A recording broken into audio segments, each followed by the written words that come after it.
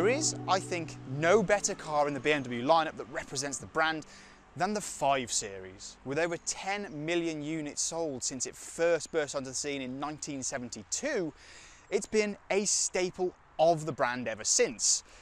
But what about this new generation? Well, for the first time, BMW are offering the 5 Series as an all-electric car. So welcome then to the brand new BMW i5. So let's start our look at the i5 with what different versions you can get. There are two from launch. We've got this, which is the 40, and you can also get the M60. Both use around an 80 kilowatt hour battery and both can do over 300 miles claimed on the WLTP cycle. This, the 40, can actually do a claimed 360 miles. But what about the design? Of course, being a new 5 Series, it's completely different to the one that came before, but it's still very recognisable as a BMW. The 5 Series is always quite an interesting one to see in terms of design and technology because you'll probably see this design language carried through to different BMW models going forwards. Of course, we've got the kidney grills on the front, but they are not the enormous ones that we've seen on the i7 and the X7. They are much more subtle, they're sort of horizontal rather than vertical. And of course, because this is electric, they are filled in. Another really cool feature on the i5 is that the kidney grills actually light up around here. They've got a really nice glow on the grills, which actually gives it a really imposing stance on the road. Now the corona rings that we're used to have kind of gone now. They're just sort of a one singular daytime running light. The lights are quite thin and wrap around the side of the car. The front bumper is actually really quite aggressive, considering this is just the 40 as well. It is very sporty, very muscular, and I really, really love the way this thing looks from the front. As we move along the side, it's much more traditional saloon shape. You've got still the swage line, which is a typical BMW feature, which runs the whole way along the side of the car through the doors. We've got slightly different door handles now. I know it's something quite trivial, but it's very different. They now sit flush to the side of the car. They're actually really nice to use. This car is sitting on the 20 inch alloy wheels with the red brake calipers behind. I think they look brilliant. As we move around the back, you've still got the Hofmeister kink here. However, it's now got model designation on there as well in the number five. Now, before we get to the rear, let's talk charging. You can charge it both on an AC and a DC charge. On an AC charge, on an 11 kilowatt charger, it'll go from nothing to full in around nine hours, or in other words, overnight. But on a DC rapid charge at up to 205 kilowatts, it will go from 10% to 80% in around half an hour, which is pretty impressive. It's what we've become used to. And the car's actually got a really nice feature in here to keep you occupied while it's charging. We'll get onto that in a little bit. The rear is significantly different to the previous generation 5 series, but still recognisable. The rear lights now have a new design. They're much sleeker, much more slimline. And the rear bumper is a little bit more pronounced. And of course, there are no exhausts on here because electric.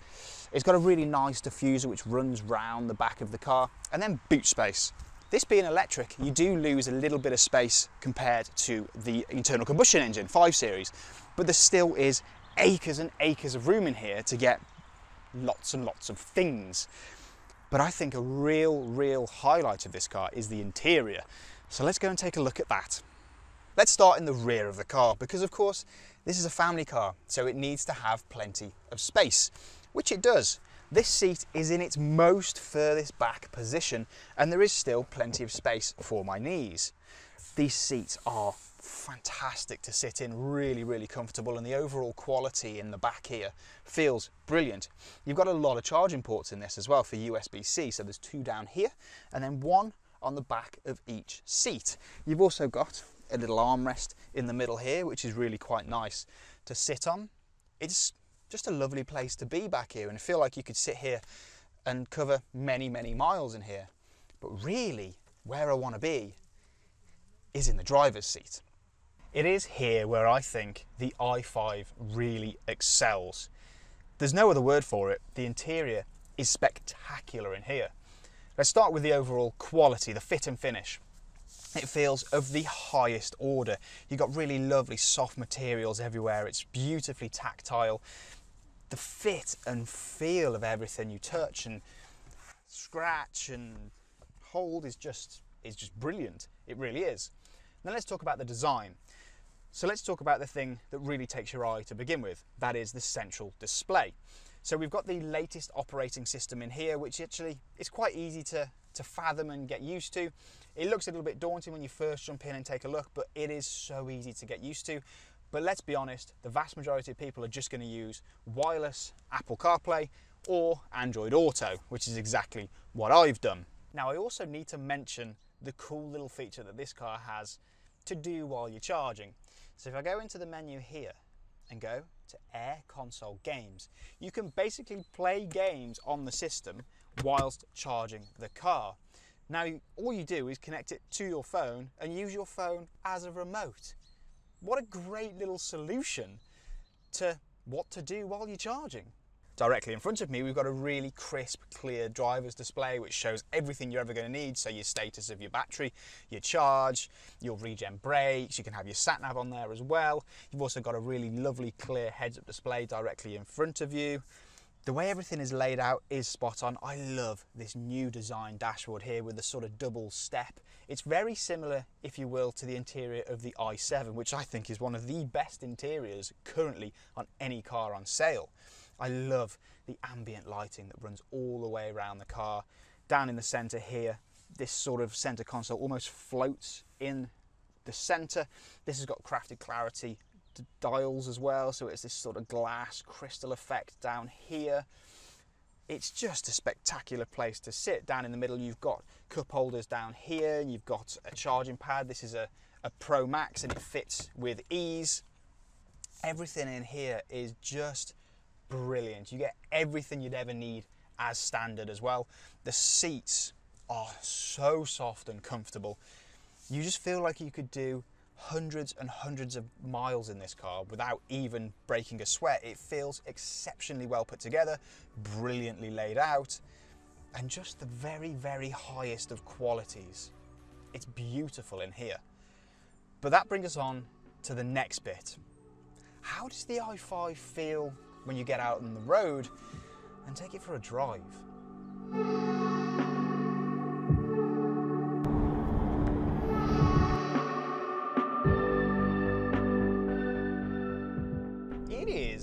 Absolutely lovely to drive the i5.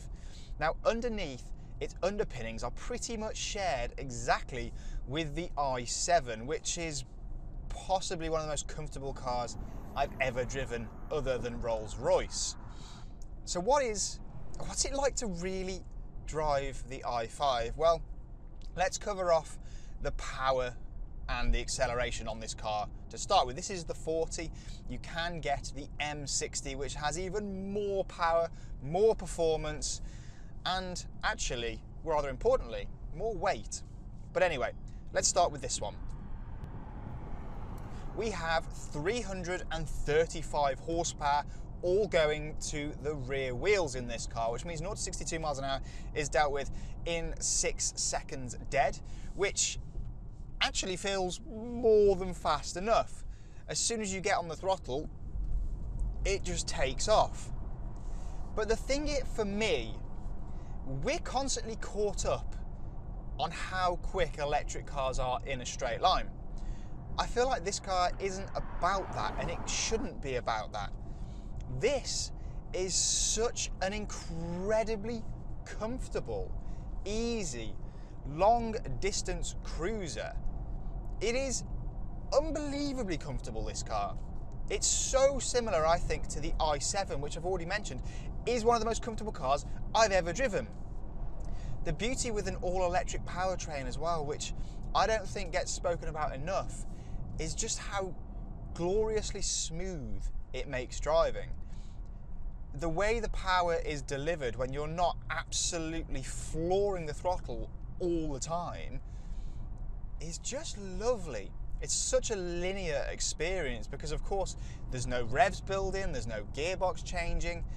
It's just a super, super smooth, lovely thing to drive. you can drive it so smoothly. The throttle pedal in this car is absolutely spot on. You can modulate it so, so well. The same with the brake pedal as well. The brake pedal has such a great feel to it that it just makes it so easy to drive this car smoothly, which is exactly what you want. This is an i5. This in essence is this is the new 5 Series. 5 Series owners weren't those that were going to be tearing around country lanes at a million miles an hour. Even though when you actually get up on this car, its driving dynamics are really impressive. The steering feel is lovely. You can obviously change how it feels with the driving modes down in the center. Now you've got several different modes. We've got personal, sport, efficient. We've also got expressive, relax, digital art. There's so many driving modes in this car that it's just, it's baffling. For me, I just leave it in personal, which is what comfort used to be. And then there's a few different modes for the regen brakes. We need to talk about those as well because they are brilliant in this car. If you go down to this lovely crystal gear selector down here and drop it down into B, that's the highest of the regen brakes. And what it means is it will come to a complete stop under just the regen brakes without using the friction brakes. And the amount of power that it pumps back into the batteries off that mode is excellent. I've gained 3.1 miles in battery power alone just from using the regen brakes. It's brilliant. It really is brilliant. The visibility around is spot on as well. Big wing mirrors so you get a good view all around. But for me, the thing that impresses most about this car, I'll say it again, is how refined, how comfortable, and how relaxing it is to drive. 5 Series has always been a very comfortable car to drive. And this just takes it on to a new level. This i5 is spectacular to drive. Being able to do a long distance journey, and you can because the range is so good, it's a joy.